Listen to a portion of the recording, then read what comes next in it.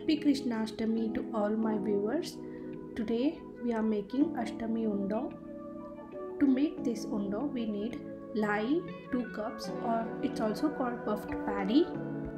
Add 2 cups of puffed paddy to a mixer jar and grind it into a coarse powder without adding any water.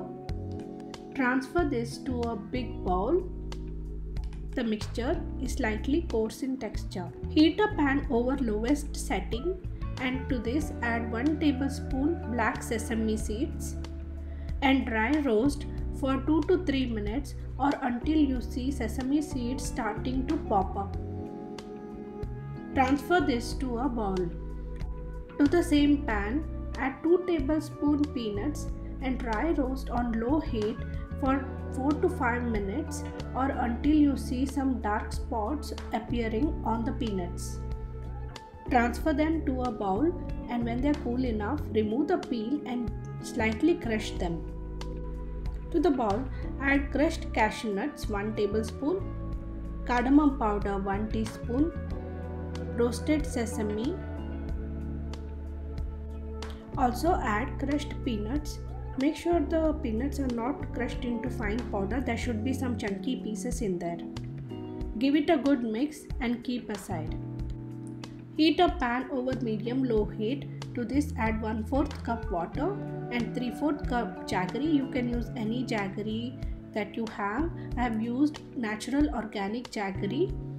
You can even use jaggery powder. That should be fine. Keeping the flame over medium low heat, cook the jaggery for around 8 minutes or so and it will start turning into a frothy mixture and the color also will start getting darker and darker. At this point, turn the heat to lowest setting possible. To check if it's done, take some portion of the jaggery between your fingers and try to get that one string consistency. As you can see, the string holds its shape. We'll do the second test. Take a bowl of water and put some jaggery syrup right in the middle, it should settle down. We should be able to roll the jaggery into a ball like so. That means our jaggery is ready to go. Switch off the heat and directly pour it over the puffed paddy mixture. To this add 2 tablespoon ghee and mix well. Use a spoon to mix because the jaggery syrup is very hot at the moment. You might burn your hands. Do not keep this mixture for too long otherwise it will be hard to roll it into laddus. While it is still warm, we will quickly make the laddus. Apply some water to your hands.